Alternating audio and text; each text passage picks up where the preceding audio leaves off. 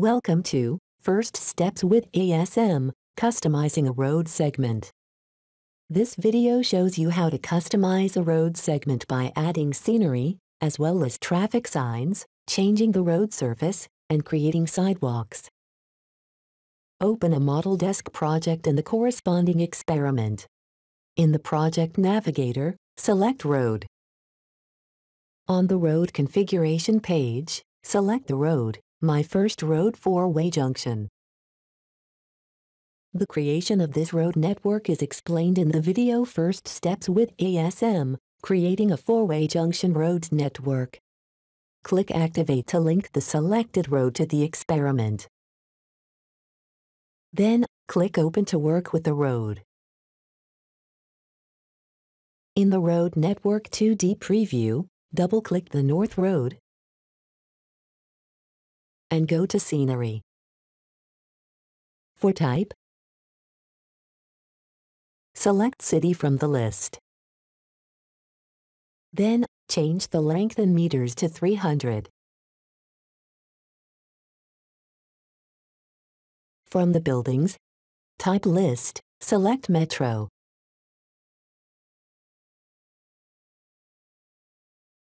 The rest of the North Road has no scenery defined yet. From the context menu of Scenery, select Append Scenery section. Alley. Change the length in meters to 500. Now, add a traffic sign imposing a speed limit of 50 kilometers per hour. Open the Traffic Object Browser. Use the search bar to find a specific traffic object or search the folders manually. Drag and drop the desired traffic object onto the Road 1D preview. For relative position, S coordinate, enter 0, and for D coordinate, enter minus 3.5 meters.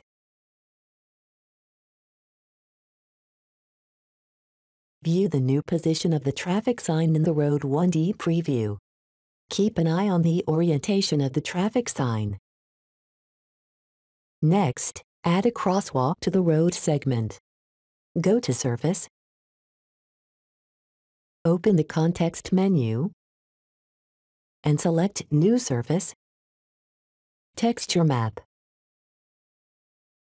Enter a descriptive name for the new texture map.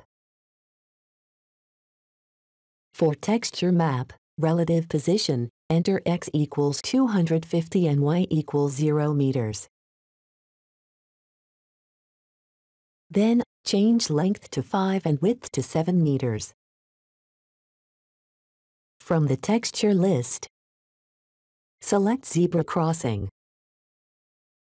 View the new position of the texture map in the Road 1D preview. Next, add another traffic sign for the crosswalk. In Traffic Objects, click Manage. The Model Desk Traffic Object Manager opens. The crosswalk sign is not defined as a traffic sign in the current Model Desk project yet. In the 3D Library Browser search field, search for crosswalk. Drag and drop the crosswalk sign into the Traffic Signs folder. Click Close. Open the Traffic Object Browser and drag and drop the crosswalk traffic sign onto the Road 1D preview.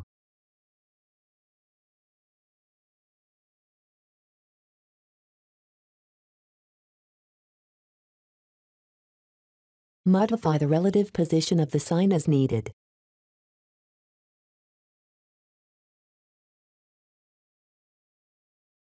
Now, add sidewalks on both sides of the road segment. Go to Lanes. Change the length in meters to 300. And click the plus button once on both sides. Press and hold the Control key, and select both lanes to edit both their properties at the same time. For lanes, width, enter 1.5 meters. Then, remove the is drivable checkmark. Next, from the Lines preset list, select None. In Lanes, open the context menu and select Append Lane section.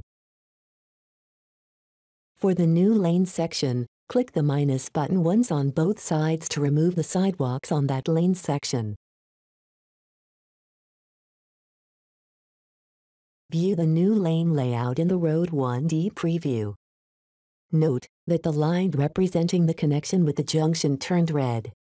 This indicates that the properties of the North Road do not match those of the junction anymore and need to be adapted. Switch to Road Network View. Select the junction. And for junction, connections, click Adapt Properties. In Road, click Save. Click Save Project plus Experiment. Go to Home and click Open Motion Desk. Motion Desk starts and loads the corresponding project and experiment in the background. Return to Environment and click Scene Synchronization, Complete, to synchronize the Motion Desk scene. In the Road Network 2D preview, open the context menu of the junction and select Show in Motion Desk. Click and hold any mouse button and use the A, W, S, and D keyboard keys to move around the scene. You have now customized a road segment by adding scenery and a traffic sign, changing the road surface, and creating sidewalks.